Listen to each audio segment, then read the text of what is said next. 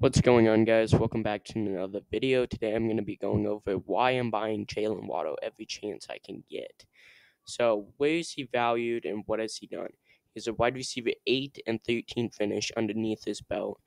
Uh, the only wide receivers to be as productive as him in a rookie season are Puka Nacua, AJ Green, Julio Jones, Ja'Marr Chase, Justin Jefferson, Odell Beckham Jr., and more.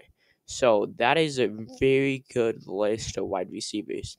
And you could get them for the 107. That's a real trade I've done, by the way. I traded the 107 for Jaylen Waddle. That's just too damn good value.